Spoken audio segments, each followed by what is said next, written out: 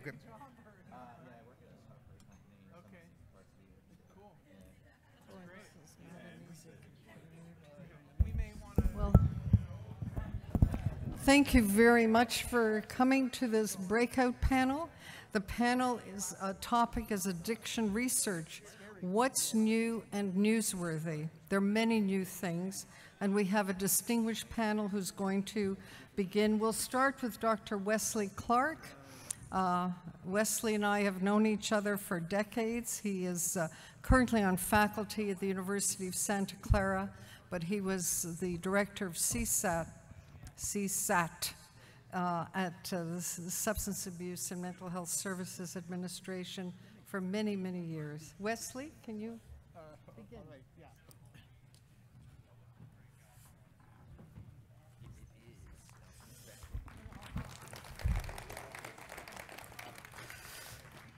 All right. Um, I think you heard a lot from uh, Bertha uh, earlier, and the commission report focused on a lot on um, the issues of uh, substance abuse. So um, I just want to start off by saying I don't have slides, and I'm glad I don't because mine would have been rather dull compared to Bertha's. They were just preeminent. So uh, if you're looking for alternative careers, uh, being a graphic artist might uh, be one that you can think about. Um, so uh, obviously research is uh, of, a major importance. I want to acknowledge the fact that I'm on the um, National Council, Advisory Council for the National Institute of Drug Abuse. So, um, and then work with uh, NIAAA, et cetera, through um, my CPDD and RSA, the Research Society on Alcohol, and the College of Problems of Drug Dependence.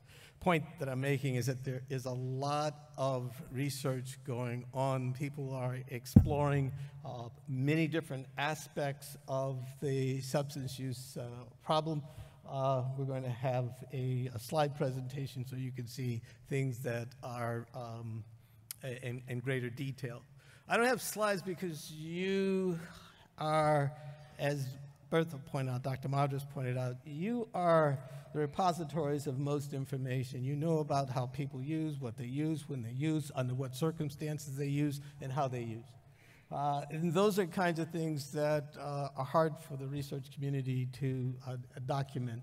You're the people on the front line, you're the ones who catch the trends before they develop. We've got data, research from the uh, NISDA data, SAMHSA just released the 2017 data. Uh, it was a very good presentation by Dr. Ellie McCance-Katz, which summarized the progress that we're making.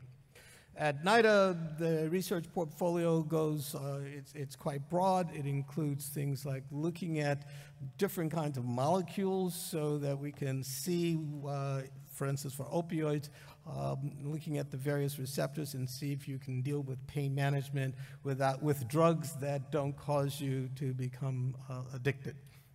Pain is a very real issue for uh, Americans. Uh, how you deal with that pain has been, as uh, Bertha pointed out, something that has been in controversy. We're looking at the circumstances uh, about alcohol use, and, and, something that tends to be forgotten. Alcohol use is responsible for some 88,000 deaths uh, every year, uh, exceeding opioid deaths.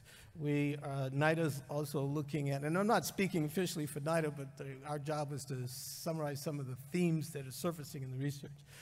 want to mention something which I'll repeat uh, over and over today. Um, as I was coming up, there were large clusters of individuals out fr in front of the hotel, and as uh, uh will be, as I've done every year, and they're all smoking. And smoking is responsible for over 400,000 deaths every year. So if we look at morbidity and mortality, we've got uh, a, lot of work to do.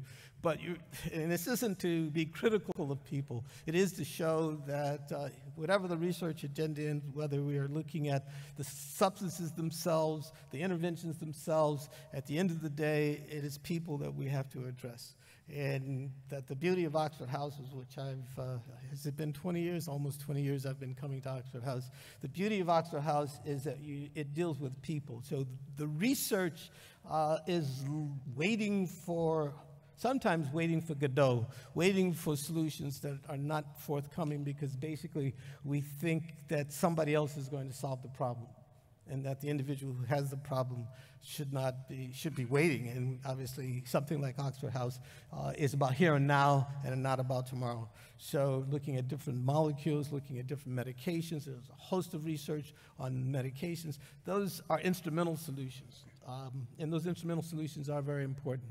Looking at the relationships, as uh, Bertha pointed out, between trauma and substance use, that's very important. Um, how do we get people not to traumatize each other, not to traumatize their children, not to engage in dysfunctional behavior? Um, Bertha mentioned the issue of epidemiology of uh, the stimulants.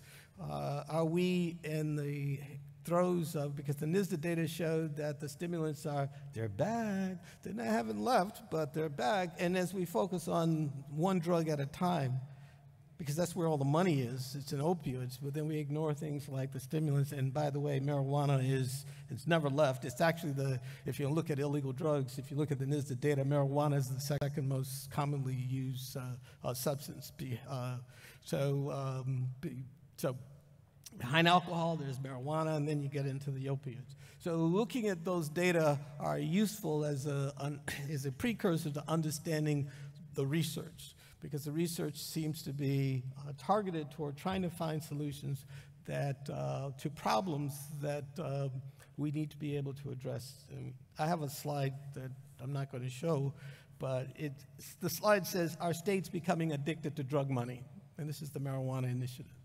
So, with the increased demand for tax dollars associated with marijuana use, are we embarking on the same uh, course? So, so, there are researchers who are now pursuing the question of marijuana and the implications of, of marijuana. But the problem is, if more people are, have access to marijuana, what, what's going to happen? What do you think happens when more people have access to a drug? then more people are using drugs. Duh. So we're going to have the epidemiology uh, forthcoming, and uh, and indeed we need to pay close attention to that. I am on record as saying we need to have better research on the, the pharmacologic impact of some of these drugs. And some of you may be aware, uh, cannabidiol has just been approved by the FDA and rescheduled by the DEA for the use uh, of some seizure disorders. So all medications are not bad. Uh, it's the mis- misuse of medications that's bad. So these are things that we should uh, uh, keep in mind. Everybody has ADHD, and how do you treat ADHD? Discipline on the left and uh, methamphetamine on the right. so we need better research on dealing with things like uh, the uh, things like ADHD and some of these complex co-occurring uh, disorders. So uh, I'm not going to continue. I'm going to let other people on the panel speak because these panels are supposed to be participatory. So rather than just go on and on about what's happening, uh, but I just want to introduce those themes uh, commend and thank Oxford House for making sure that people on the front lines have a role and that uh, our society still struggles at many levels with the issue of substance use, and research by itself is not going to solve the problem.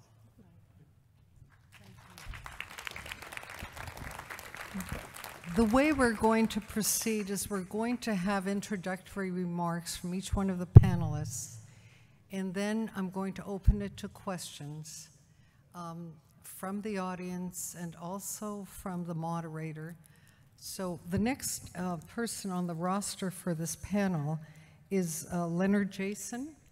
And um, Leonard is uh, from, um, he's the director for the Center for Community Research at DePaul University.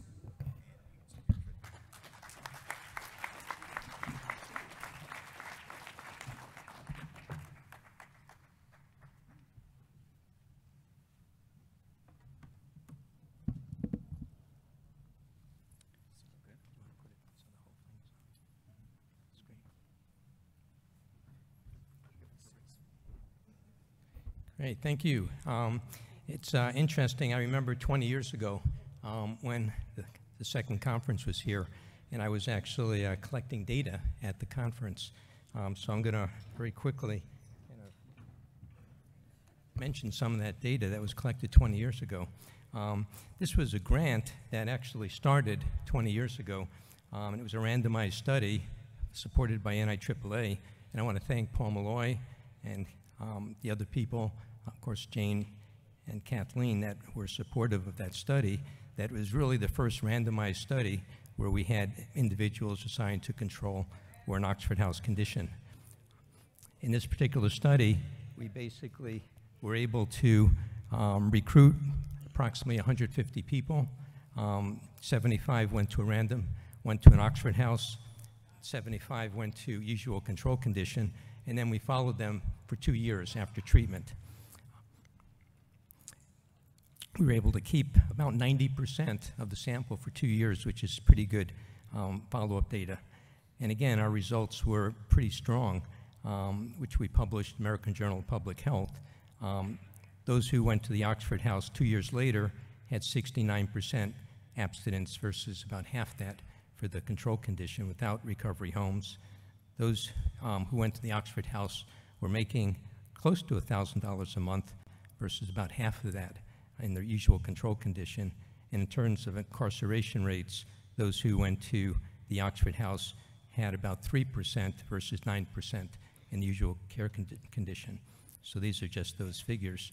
Um, and I think our next really journey that we went on, it just took about 10 years to get this particular research done um, and published and then ultimately disseminated.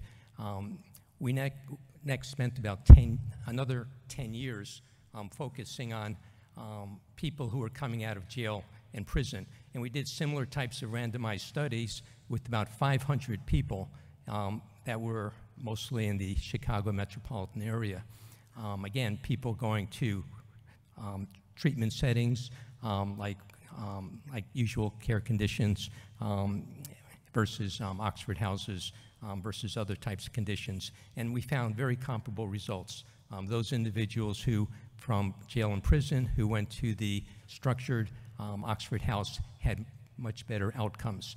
I won't go into those studies, but what emerged from 20 years of doing basic research um, on randomized studies with Oxford House was that the social networks seemed to be the critical issue. Um, so we were able initially to find out that yes, the Oxford houses did have an effect. The next 10 years, we began spending trying to figure out what was it about those Oxford houses. Basically, what you're trying to look at is mechanisms. Um, what's the reason? And we ultimately decided that the thing that was most important was basically the networks. Um, I'm not going to go into too much detail, but the reason that we made this focus um, of networks was because we found that if a person had one friend when they went into an Oxford house, that was the best predictor of staying for six months and then having 24 months extremely good outcome data. But if they didn't make a friend, in that first six months, um, their outcomes were not that good. At that point, what we did was we basically um, decided, that I'm a, actually a clinical community psychologist, um, we tried to find the best person who does social network research in the country, and we found him at um, Oregon Research Institute. Even though I'm in Chicago, there's no reason you can't collaborate with people in other places. Um, and he's a sociologist, mathematician, and we really basically began studying social networks seriously about 10 years ago. Um, and for the last 10 years, we've been doing basic research, which I'll give a little bit of information. Um, our last study that we actually did was with Native American reservations, where, just, just give you an idea what it looks like, you can see close friend or friend, and every person in the house rates everybody else in the house. And we're trying to find out if a person has a friend. And um, this is what a social network looks like. You can see kind of the nodes and you can see the linkages, and they go back and forth. Um, and that's basically what friendships looks like in a Native American Oxford house. And this is basically a social network diagram of um, relationships of trust, and then this is confidant relationships. Turns out that a lot of people are able to have friendships in Oxford houses and have trusting relationships, but confidant is much more specialized, so that when one has a mentorship relationship, it's not always reciprocated, whereas friendship and trust is. This is kind of more details of what a person who participated in one of our trials looked like, where they were at baseline. You can see the person who's on the left, and you can see basically lots of red lines. The person, the ego, is at the center. And all the red lines are people who in their network who are using drugs. And you can see that lots of people are using drugs, and actually that's the problem, that they're not working, they're using drugs, and they're networks that are using the same types of issues. If you look on the right, you can then um, see the different color that's in light green or blue, and you can see those people are not using drugs. So, in a sense, what's happened with the social network is that a person has started with basically a high density network of people who are using, primarily doing illegal activities, and not working um, for legally purposes. At the end, two years later, this person has different people in their network who are basically not using drugs, who are working, and who have more appropriate um, kind of social structures. So, so again, this is kind of what it looks like in detail for one individual, but this is what the social network data look like. So just currently, for the last five years, um, we have been looking at 40 houses in 30 um, places in the country, um, in Oregon, in Texas, in North Carolina. Um, we've been collecting data every four months um, during this time. We have about 700 participants who are in this study, and I want to thank Casey Langen, Alex Snowden, and Van Wilkins, um, who basically have been collecting this data in three parts of the country for the last few years. And hopefully, we'll be able to give some of the results of that longitudinal observational social network study um, in future conventions. Um, but I would like to mention that um, um, we, one of our um, kind of colleagues um, is going to collect some data on MATs here. So um, there's a couple undergraduates, um, John Major, some of you know him. So he's collecting some data about um, use of MATs. So if those of you who have any experience with that that are interested, that study is going on here. Um, we also have a veteran study that uh, Myra Guerrero is doing here, where she's doing two focus groups um, of veterans who live in Oxford houses. So um, if anybody is interested in participating in a focus group, um, that's going to be occurring during breakfast. It occurred this morning during breakfast, and tomorrow during breakfast, there'll be people going to one of the rooms. So that's another opportunity. Um, I do want to thank you for um, being so great at um, providing us access to um, your experiences, your lives, um, so that we've been able to do this research over the last 25 years. Thank you.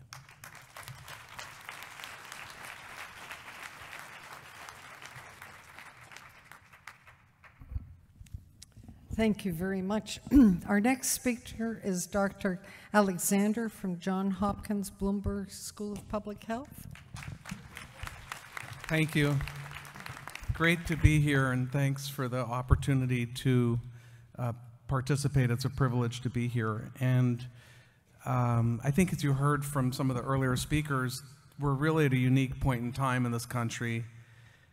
Uh, a really sharpened focus on addiction, uh, driven largely by the opioid epidemic, but of course, that's not the only addiction that we need to worry about. And so it's really a unique chance we have to seize this moment while people are still paying attention. And as people in recovery, you and Oxford House are really in a unique uh, position and really can serve a vital role. Um, you have the lived experience of addiction and recovery. And, you know, there's nothing, first and foremost, there's nothing more important and credible to someone who may still be suffering. So I, I don't need to remind all of you of what they say in the rooms, right? That if you want to drink and drug, that's your business. But if you want to stop, uh, that's ours.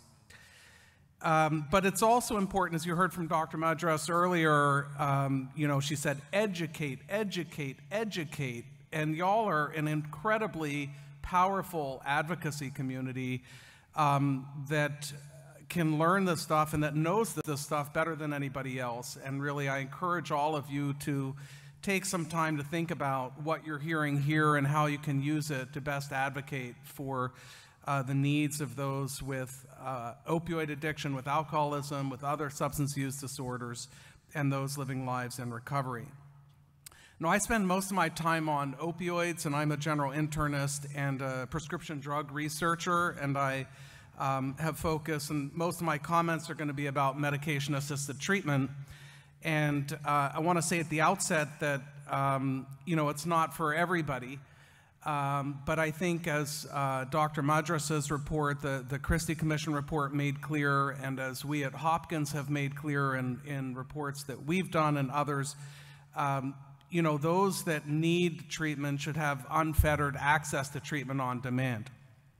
And um, you know, the treatments aren't perfect, but neither are treatments for diabetes or colon cancer or high blood pressure or depression. And yet we aren't sitting around here asking ourselves whether those treatments should be available to those who need them. So um, if you consider the alternative, um, as many of you know all too well, uh, what happens to people who go back out, uh, I was looking last night at some of the literature and I found a study that was relatively well done that looked at people long term that used heroin and they had a, a 30% chance of dying within 20 years. So the statistics are stark and there's very clear scientific consensus that medication assisted treatment, so I'm talking about buprenorphine, methadone, naltrexone, uh, that these work and they decrease your likelihood of dying by about 50 percent. So, you know, if we discovered a drug that decreased your likelihood of getting, you know, end stage renal disease, if you had diabetes, or decreased your risk of stroke, if you had hypertension by 50%, people would be flocking to it like it's the next, next best thing since sliced bread. So I want to just put out there three themes that I think uh, that I'm seeing a lot of interest in in the research community. I was asked to address where I thought addiction research was going. Uh, the first is quality. So this isn't just about access to treatment, but it's also about the quality of services that are delivered. And I think, uh, uh, fortunately and refreshingly, we're seeing a greater push and recognition on the part of policymakers and health systems, hospitals, treatment and recovery programs to look at this. Um, there's been such an emphasis over the past few years access, access, access, access. But it's not just about offering the treatment beds, and it's not just about giving people slots to see someone who can uh, uh, evaluate them for alcoholism or opioid addiction. It's also about the quality of care that's delivered. The second is um, uh, the churn of people through the treatment system. And we live in an incredibly fragmented healthcare system. Uh, relapse is a reality. You don't have to relapse. And, uh, you know, so I, will be the first one to, to say that, but it is a reality for many people. And I think there's a major challenge and opportunity for us to do a better job of figuring out how to decrease the churn of people through the treatment system. And the third is, is comprehensive care. This isn't just about opioid addiction, and this isn't just about alcoholism. And you know, many of you in the room, like like like folks that I engage with all the time in lots of different settings, we have high blood pressure, we have diabetes, we have hepatitis C, we have HIV, we have depression. And there's such a bright light being shown right now on addiction treatment and the quality of addiction care. Um, but we need to remember that that care exists for people that have lots of other illnesses, acute and chronic, that they need care for. So I'd like to suggest the question isn't how can we deliver high quality addiction care to people that have addiction, it's how can we deliver high quality health care to people that have addiction, including for mental illness, other substance use disorders besides opioid use disorder, and chronic diseases like hypertension and diabetes. So there's a bunch of other stuff I could have talked about. There's new models of care being tested. We can talk about those. Uh, we could talk about the non-physician workforce. This ain't just about doctors. We got nurses. We got social workers. We got lots of other healthcare providers that um, where, that we need to employ and and and train up. Um, we could talk about assessing the evidence for screening strategies. We could talk about misuse. There's millions of people that are misusing these drugs that haven't landed themselves with full blown addiction yet. What should be done about those? Um, but my last comment I want to make is just about policy, and just to say that, um, you know, if you haven't been watching the news, policy isn't always driven by science. And um, so we need better science, but we also need better advocacy and a better linkage of research to policy. And that's another place where all of you can play such a valuable role. So I appreciate the chance to engage with all of you and look forward to your questions.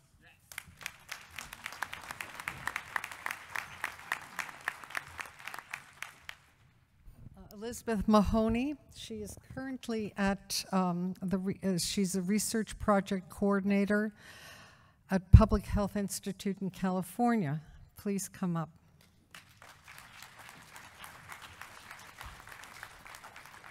Hi. I, uh, right now, I currently work at the Public Health Institute. Oh, sorry. I work at the Public Health Institute right now, so I wanted to come and talk to you today about the sober living house research that I work on. Uh, so, what is a sober living home? Uh, we're at the Oxford House Conference. Uh, so, for us, uh, the sober living home it is very similar. So, it's uh, it's housing that's for people that are have substance use disorders, are in recovery. It has the peer support element, and it also operates as a family-like unit.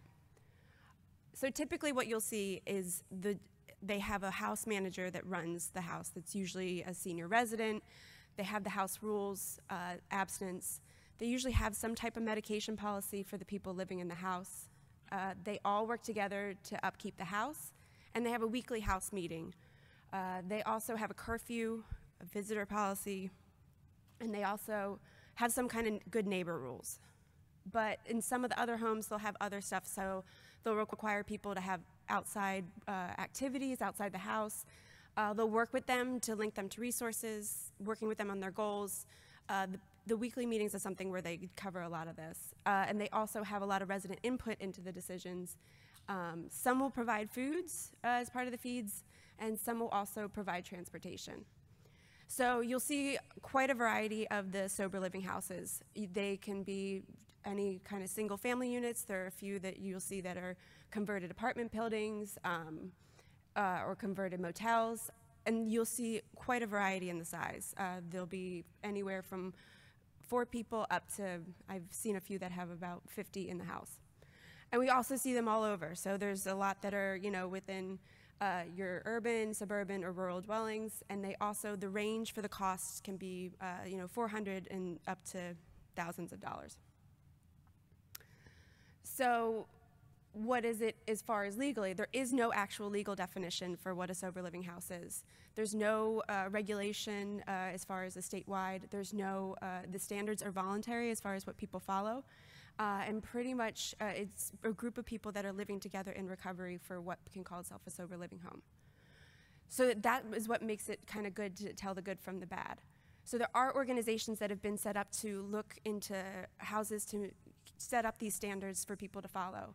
Uh, so you have CCAPP. Uh, they have about 400 different homes that are part of their organization. Uh, those are statewide ones that are run, and they'll have smaller chapters. Uh, there's also the Sober Living Network, and they have about 350 homes as part of their organization, and they're mostly uh, in Southern California, but they are throughout the states. Um, and there's also NARR, which is the National Alliance for Recovery Residences. So that one is looking at overall standards for recovery residents overall. They have, uh, they've provided a lot of different places with the code of ethics, a lot of support for houses that want to open up with uh, establishing, letting them know what are the good practices that they would want to follow. And they also provide a lot of advocacy. Uh, you know, we talk a lot about the policy that's important for getting these places allowed. So the CCAPP and uh, Sober Living Network co-founded those. So NARR today is, is represented in a lot of different states. It's probably not as big of a presence as the Oxford houses, but you have a lot of different residences that are part of this organization. So as far as the difference between when I say the sober living house versus the Oxford houses, the sober living houses, they started uh, pretty much out of uh, the Alcohol Anonymous uh, movement. Uh, so it's been around since the 1940s. It was just people that were in recovery kind of saying, hey, let's live together and support each other. And it's just has kind of grown. And so it's a little bit more organic in that way that each house sets up sort of its own system of operations. So it doesn't have what you guys have with that with the manual as far as like helping people who are opening a new house. Uh, a lot of times uh, I go to different meetings that are part of the Sober Living Network that uh, new people who are thinking about opening up a house will go. And it's more about other people supporting them and letting them know and kind of giving them kind of some tips and everything. Whereas I feel like the community that the Oxford houses, it provides a little bit more there. Um, and those ones, there are co-ed ones that uh, we've come across, mostly are uh, divided as male and female. But for there, pretty much for the people coming into the house, um, The new residents uh, are interviewed by a house manager, or the owner, but there's no real election. Uh, there's no, there are some do have residence councils, but most of the ones that we have seen usually have the house manager that sets the rules and kind of follows all that. There's no real self-governance. So for the research that's been done uh, for the sober living homes that on the team that I work on, there had been a Northern California one that did was about 300 uh, people in uh, uh, a few houses that we had, uh, so about 20 different houses. And so for that one, it was if you if they came into the house, we followed them for the 18 months. It was whether or not you left after a day or two, we still wanted to follow up with you because that's still people that are coming into the house. They're important people to follow. So we looked at uh, we looked at them and followed up with them every few months, and then uh, looked at you know looked at their abstinence rates, their addiction severity, and also just look at their psychiatrics. Um, and so for those, you can see the abstinence rates that came up with that. Uh, so you see the improvement in the abstinence. Um, you also see uh, the number of arrests go down, the employment goes up, and the psychiatric severity, uh, you know, decreases. So these are all, uh, you know, outcomes that we had found from that one. Within that, we found that there was a group of people that had still had good outcomes, but not as good as uh, some of the other residents, and that was people who had been involved in the criminal justice system. So what we started to say was, what uh, what is missing? Like, how what, what could help them out? So, so that we designed uh, something that took motivational interviewing, which has been used, uh, has improved, had good outcomes for people in substance uh, recovery, and did a, added a case management component to it. So that part, working with the people to sort of say, what uh, what do you need for your recovery, um, and uh, just the therapist would work with them over the year that they were in the study. Uh, we also uh, focused on the HIV, HIV risk among this population to kind of look at that for the outcomes.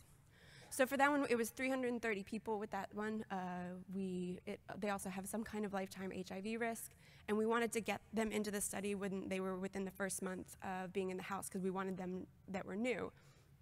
So we looked at the, just some of them, they just got a list of resources just to say, here you go, this is possible resources, and then uh, some of them also got the therapy.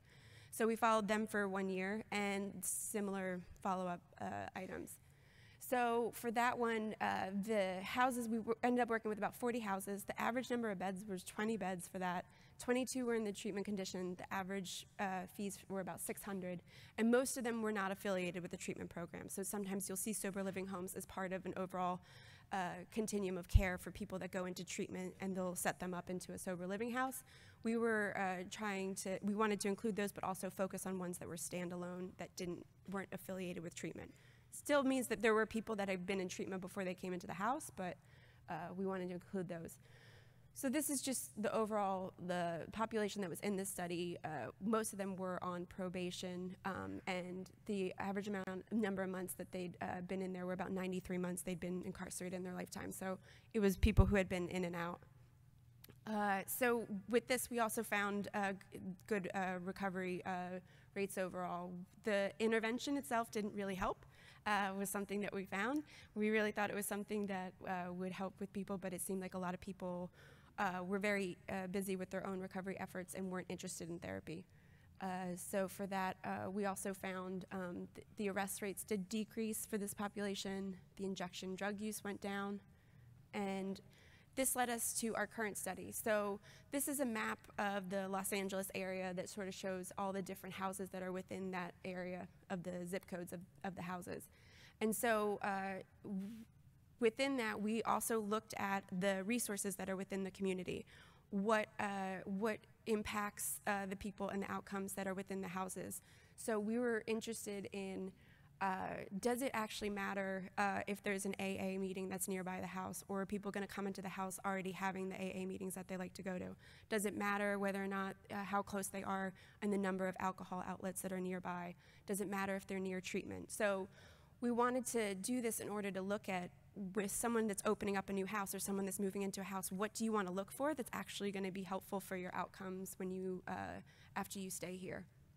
So the current one, we're trying to just look at uh, the outcomes for the people within the houses, how the house is set up even. Uh, so looking at the different uh, rules and the way things are set up. So it's 600 people. We're going to work with about 40 different houses for that and follow them for a year. Uh, and so we're funded by NIH, and so the at, the at the end, we're hoping to have the outcomes and be able to look at the different uh, neighborhood characteristics for that. So that's something I think is kind of exciting. So that's it.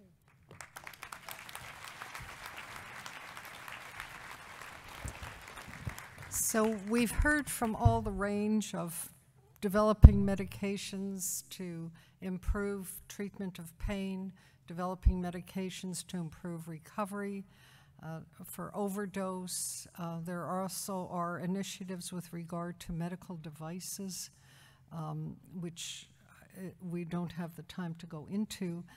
Uh, and then we've heard about research on the effectiveness of different types of recovery homes, from Oxford House to comparators.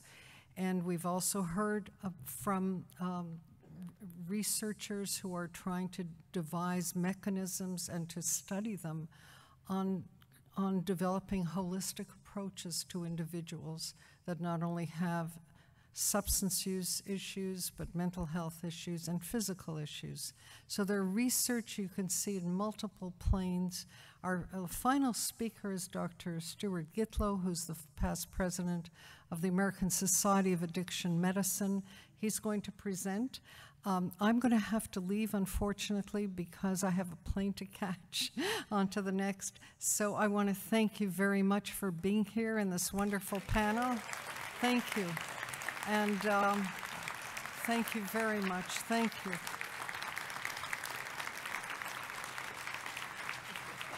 Thank you. Thank you.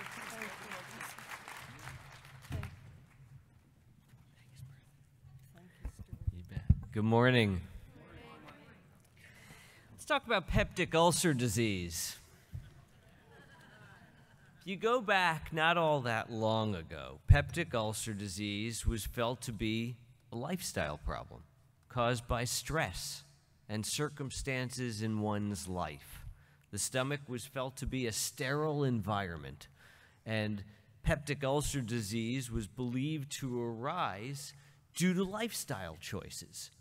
And so we went through decades and decades of research focused around how individuals could change their lifestyle and change their diet and change their approach to life in order to minimize the morbidity, the, the feeling of illness due to peptic ulcer disease. And all of that research went precisely where it belonged the trash can. As soon as somebody backed off and decided that everybody was looking in the wrong place. And the discovery at that point was that peptic ulcer disease, in the vast majority of cases, arises from an infectious process taking place within the gastrointestinal system.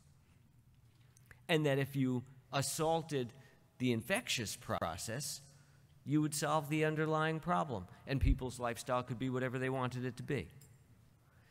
Now we're sitting here with addictive disease, a disease that many in our population feel is based around lifestyle choices, that it's a behavioral choice. You all decided to have addictive disease, right? Yeah, yeah. And so much of the money that's going to the research effort is about drug use. When drug use is the very last part of the process, it's the thing you do to make yourself feel better from what you had before you ever began using drugs. Okay, so if you're sitting around not feeling comfortable, and no one ever gives you a drug, then you'll go through your life feeling uncomfortable, and that'll be the end of it. But somebody gives you a drug, and you say, Oh, that feels so much better. And now I feel so much worse. But I felt better first. Let's chase that.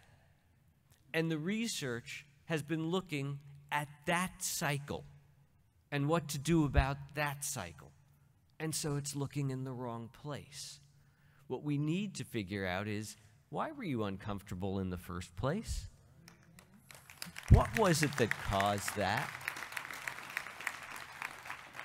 Well, unless we give money to that instead of to the opioid crisis or to what happens to people who use marijuana, unless there's money flowing to what actually causes the, the disease, we're not going to discover it. And there's been some early research that seems to suggest that maybe there is an immune deficiency or an infectious process. That wouldn't be shocking. That's been found to be true in multiple other chronic disease states. So you start to think about it. And let me just put out a trial balloon here. What would you think if some years from now somebody discovers an infection that gives rise to the discomfort that leads to addictive disease? And somebody says, we can give your kids an antibiotic when they're five that would prevent them from having addictive disease. Now, here's the question Would you believe it? Right. And that's where the issue might end up going. I'm not saying we're going to end up discovering that, but I'm saying think about it in the back of your mind, recognize this is a chronic disease state like diabetes, like hypertension, and therefore the actual solution may be someplace where we have not even begun to consider it might be. So just keep that far in the back of your mind as something that might come up at some point in the future. In the meantime, where else do we need research to go? Let's say, and now we're back in the present, we don't have an infectious process. This isn't an immune disease, this is addictive disease. And you want to stay sober. And you want to do so in part by participating in 12 step and everything that goes along with that, and in part by recognizing this is a medical illness and I'm going to go get clinical treatment. Who would it be best to get clinical treatment from? Would it be best to see a physician, a nurse practitioner, a social worker, a psychologist, a certified addiction counselor, a um, mentor, a sponsor? Who is best to talk to? Unless we know the answer to that question, by the way, no one knows the answer to that question.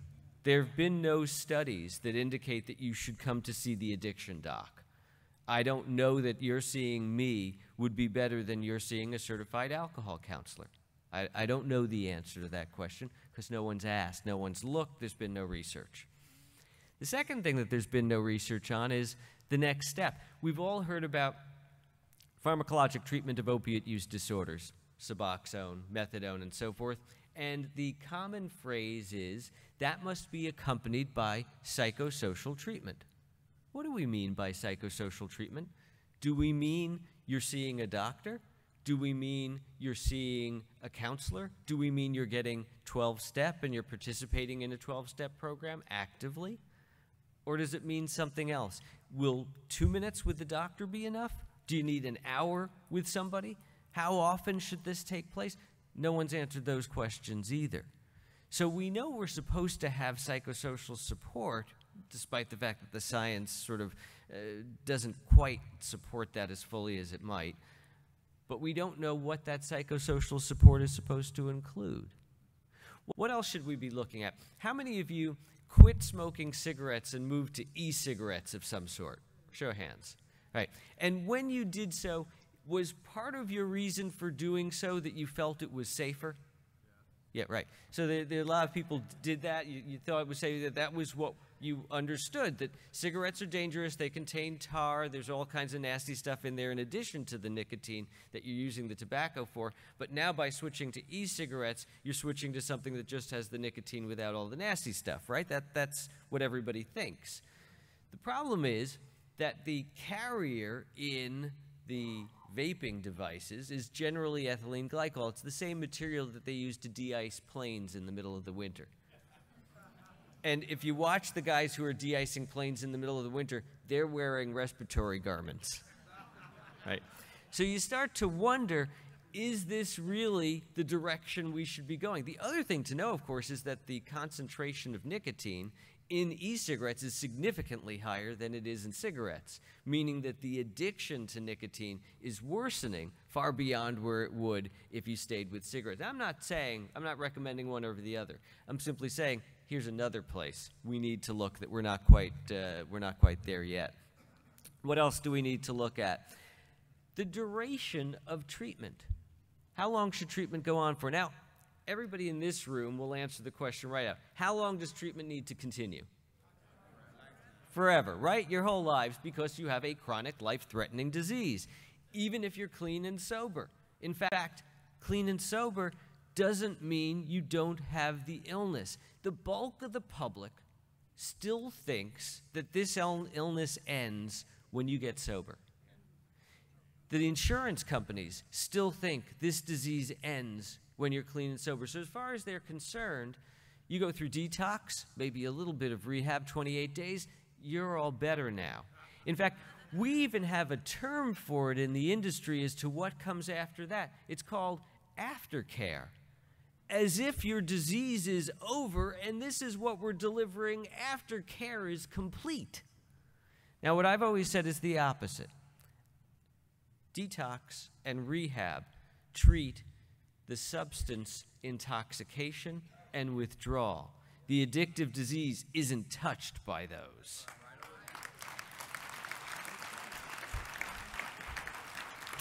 So, the point where we want to first study treatment of this illness has to begin after withdrawal is all finished. Now, how long does it take for withdrawal to be all finished? That's the other question because a lot of people out there seem to think a week or two. Right. And now there's this concept in the field post acute withdrawal syndrome. There's no such thing as post acute withdrawal syndrome. There's withdrawal. Withdrawal takes a year to a year and a half, right? At the end of that period, your sleep and your anxiety level are finally coming close to your baseline, which, by the way, was uncomfortable in the first place, which is why you liked the drug. All right. So we need to address that because that's addictive disease. Addictive disease isn't the drug use. Addictive disease is the underlying discomfort that led to the drug use being continued in the first place. The discomfort is you're anxious, you're uncomfortable, you're irritated. We'll talk about this more tomorrow. But the bottom line is if we're going to do good research in the field, that's the place to look, not at the drugs.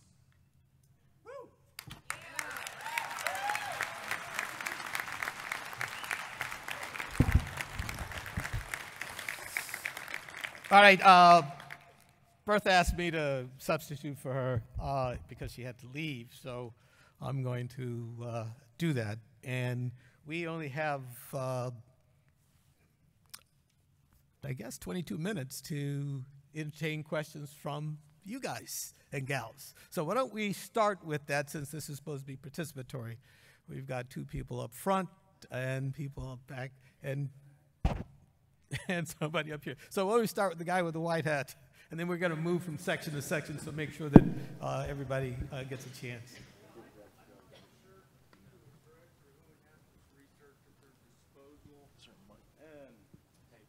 Yes. Oh, sure, sure. All right, we have mics. Yeah. Oh, um, my what I was gonna say was um, I don't know. Yeah, who to ask necessarily, but is there any research done as far as um, what substance-specific use in correlation to like uh, recidivism and relapse rates? So the question is, is drugs one, essentially, is one drug more likely to produce, uh, every, yeah. Stuart? Give it to Stuart, like Mikey. You know, so the question is which drug is more likely to lead to a relapsing course? And the question really boils down to an issue of how addictive is a substance. The more addictive the substance is, the more likely there's going to be a relapsing course. And yet we've gone back and forth in the industry as to whether or not that's something we even want to think about.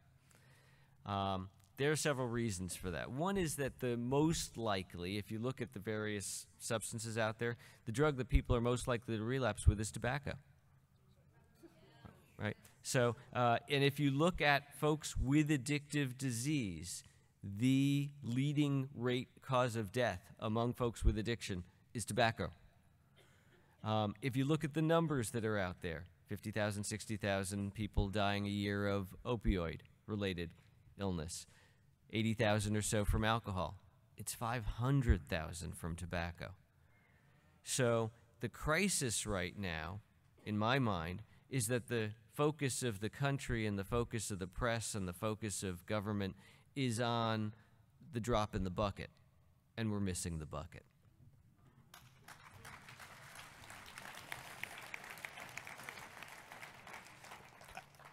Thank you. I wanted to point out that uh, the National Institutes are doing research on similar questions that the young man raised, and that is on what's called reward, motivation, decision making, impulse control, emotional regulation, stress reactivity, all words and phrases that simply means we don't know the answer to that question yet, but we're working on it. Uh, gentleman up here, where's the mic? Right here. Wait, wait, sorry. Mic's coming. You, was talking- you was talking about diabetes and high blood pressure. I am diabetic type 2 and I have high blood pressure. This is the part was baffling to me. Um, I've been clean now for 11 years. And before, before I got, before I got clean, I had no illness. And I mean, I was using it for years and years. Soon as I got clean, I say about five months later, I was diagnosed with diabetes. It's not generic. I was diagnosed with diabetic too, and high ple- blood pressure. How did that come about? Right. yeah. Thank you. You can unmute my mic. Yeah, you need to unmute this mic. Thank you. It's a great question, and um, the uh, you know it's a great opportunity just to say again, like we got other diseases too, not just the disease of addiction. Um, you know, one of the things that happens when people come into treatment is that they have more encounters with the healthcare system. So, um, you know, I think there are a lot of people out there that they may have some of these diagnoses. I mean, a third of people that have high blood pressure aren't even diagnosed and probably the same proportion with diabetes. So I'm not saying, and I'm not speaking to your specific case, but I will say that there are many, many people that are out there, you know, that are out of the rooms and, and, and using, and they have untreated uh, uh, uh, chronic diseases. And so I think one of the biggest um, one of the biggest impacts that entering the treatment system can make for these other conditions is that they get diagnosed and they get treated. We just finished a study where we were looking at people that are on treatment, medication assisted treatment, and what we found is in periods where they're adherent to that treatment, their adherence to treatments for unrelated chronic conditions increases. So their, their adherence to diabetes treatments increases, their adherence to high blood pressure treatment increases. So I, I don't think that, um, I mean, I'm, I'm not aware of any evidence that, you know, getting clean uh, uh, triggers diabetes or something like that. So my guess is for many people, that it's simply when they re-engage with the healthcare system after being out for a while, um, people take a close look and, and, and as, as healthcare providers should and, and identify some of these other chronic conditions. Dr. Jason has a comment to make. When we've um, looked at Oxford House samples, um, we often find that individuals come in with many different chronic conditions, um, and often they haven't been treated because they have other issues on their mind, certainly. Um, but once they are in recovery for a period of time, um, we find that be- people begin to start dealing with some of these chronic health conditions. And the economic benefits are really incredible. Um, we've had um, Tony Lo Sasso from University of Illinois Chicago, who's actually helped us with some of these, and now we're working with Northwestern with an economist. And in one house, when we basically looked at the economic benefits of staying out of jail, staying out of these different types of health chronic conditions, it was over a million dollars in savings to society. All right, uh, should go over there to that section. We have a, the young man with his hand in the black shirt.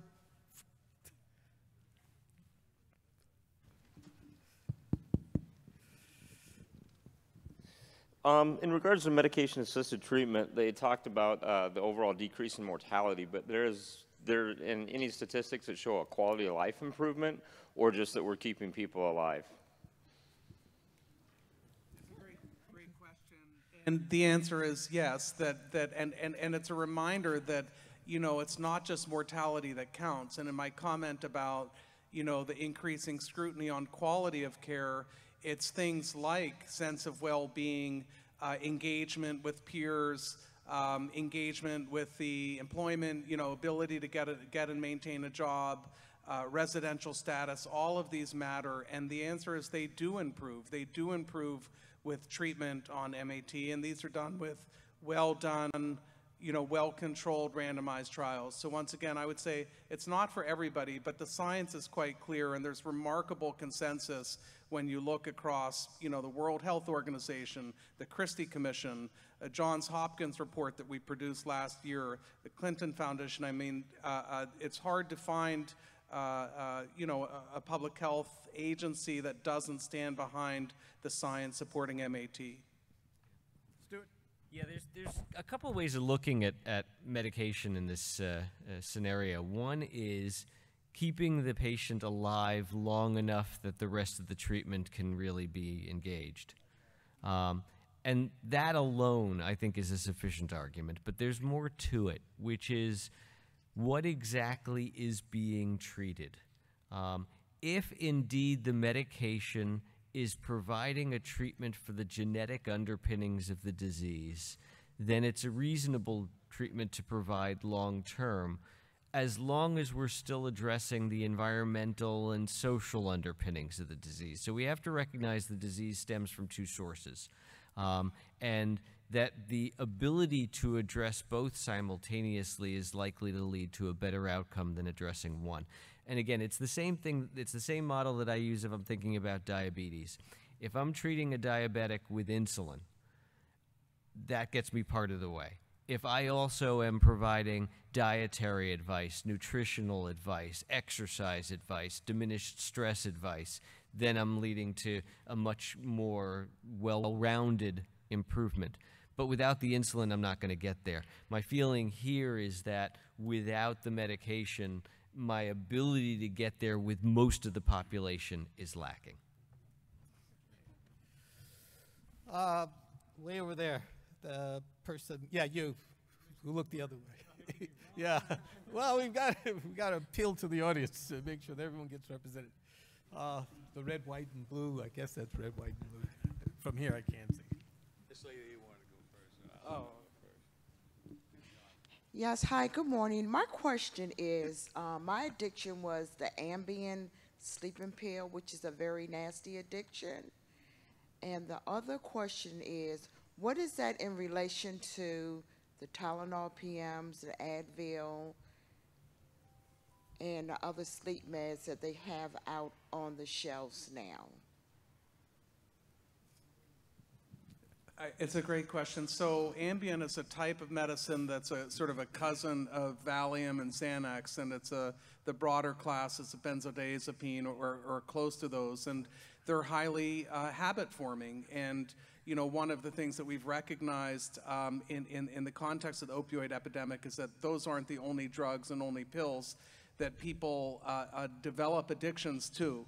And uh, in fact, the combination of Ambien and other uh, uh, similar treatments for anxiety as they're used with opioids can be particularly dangerous. You asked about a number of other medicines like Tylenol PM or other sleeping aids or you know, some people use Benadryl to help them sleep, and, and there are a number of other medicines. Some are over the counter and some are prescription. And for millions of Americans, they're just fine if they're used infrequently and cautiously and, um, you know, and under a prescriber's um, careful guidance. But they're also prone to, to, to non medical use. So, um, you know, so I think that um, people do run into trouble with some of them. All right. Um, yeah, go ahead. He's got the mic. Is this thing? Yeah, it's okay. on now. Huh? It's on now. Okay. Um, I want to thank you guys, you know, for being here and everything for us, you know. Um, the question I have is I heard you mention something about um, some type of program for veterans, and I am a disabled Vietnam veteran, so I would want to know is there a particular website I can go to to seek whatever information there is? Um, yes, there, there is. And um, anybody working with the VA? Okay, uh, Leonard, Dr. Jason. Right. Um, so there's a woman named Myra Guerrero. She's here, and she's going to have a group um, tomorrow morning. Um, she has access to some of that information. I might add that in terms of recovery homes, and particularly Oxford House, um, there's only one study that has actually looked at veterans. Um, and what they found was that if you had a veteran status, um, that's actually a risk factor um, in the Oxford House. And some of the more re- recent research that we haven't published yet suggests that if there's several veterans in the recovery home, that really is incredibly important for the experience and to actually stay in the home long enough to get some of those positive effects. So, um, un- very understudied area, um, but I would suggest uh, you hook up with Myra. She's going to have a focus group tomorrow morning during breakfast, um, and you can maybe learn more from her. She's an expert in this area. She's from DePaul University. Elizabeth, you, uh, in terms of sober homes, uh, the issues of veterans, has that arisen? There's just a little bit of research. Yeah, uh, yeah. For the sober living homes, uh, there, I know that there are homes that uh, will specialize just in having uh, veterans in the house, but as far as the research, no, they haven't actually studied that yet. All right, uh, gentleman in the black shirt. Well, two black shirts. the one on the left.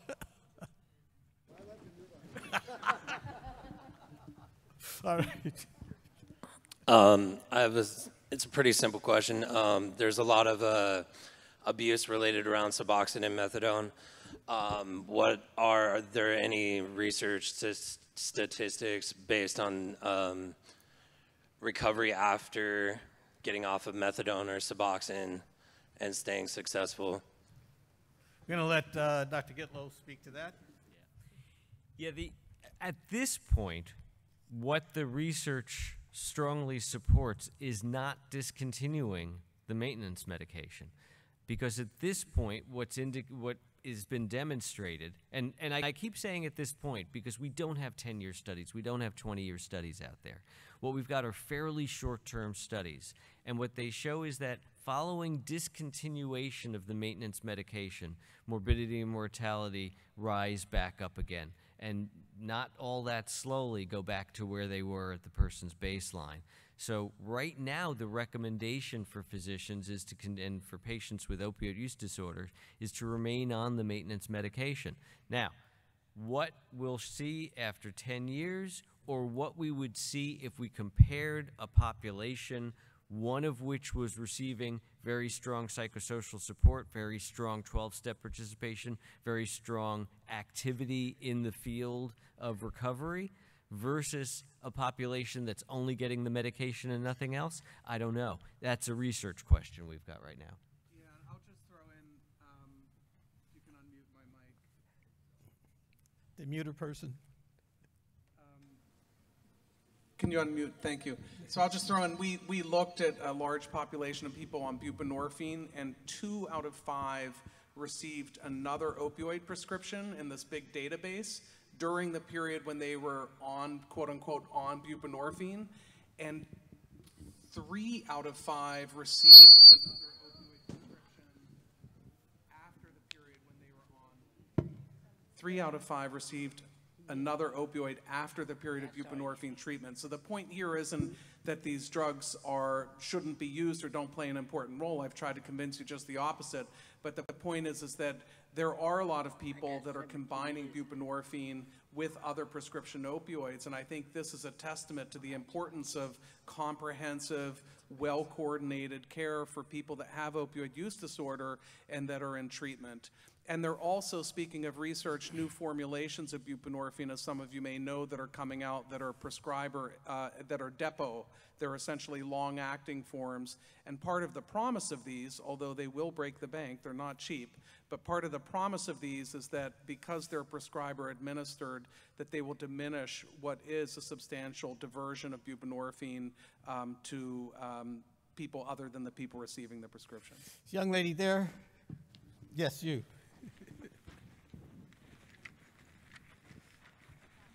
No, you can't. I don't know what that is. There you go. We only have five minutes. Hello. Um, you guys talked about how, um, as addicts in recovery, we are more engaged in the healthcare system. So, what is being done to educate the healthcare system about addiction Um, I myself, and I know a lot of addicts in, in recovery, are not treated well by the uh, medical community. Um, I have had three surgeries in recovery, and when I say no, I don't want narcotic medication, I'm talked to like I don't know what I'm talking about. But I break out in handcuffs when you give me narcotics. so, what is being done to educate the medical community about that addiction is a disease and it's not? A, a, a moral failing or a behavioral issue? Well, I can say uh, that is what we're now trying to do. As Dr. Madras pointed out, that is the theme. And in uh, H.R. 6, which is the bill that she mentioned that was just passed, there's a tremendous focus on educating uh, clinicians uh, as well as people in recovery themselves. The real question that to attach to your, your statement is how many of you have health insurance? And conversely, how many of you don't have health insurance? And that's the other, that's the flip side of not having access to good care and having access to affordable care is an integral part of this discussion because otherwise you're relying only on acute care. Show up in an emergency room, they have to treat you, but then they're only treating you in a haphazard way. So over there, there was a hand. We only have um, three minutes left. Green shirt. I can't hear you. I, I know you're trying. we'll wait for the mic. Thank you. So, what would be the purpose of putting somebody on uh, one of those uh, treatments if they've already had a year plus clean? If they already had what? If they've already been clean and sober for oh, a year Oh, yeah. or more, Yeah, what would be the purpose of putting them on one Yeah, of we the, like the to Suboxone what program? Clean and sober means. Go ahead. Right, right. So, so let's assume it- this is a typical scenario. Somebody comes into the office and says, uh, "Doc, I've been clean, sober, uh, working a good program for the past X years. Um, my house burned down, my dog died, uh, and I just couldn't get things together after that. Um, I thought I was going to pick up and use. Um, and then somebody came and they gave me some Suboxone. Uh, I took it. The craving for the heroin went away, uh, and I only had a week's supply. And now here I am back where I was starting over again. How do I? What do I do next? Um, that's a good candidate for somebody to be placed on a low dose of buprenorphine for a probably short-term period of time so that they can get their recovery program back in, a, in uh, effect again. So that that's a typical answer to somebody who's been clean and sober for an extended period, but for whom the medication might be a better alternative than they're potentially slipping. One last question, young lady.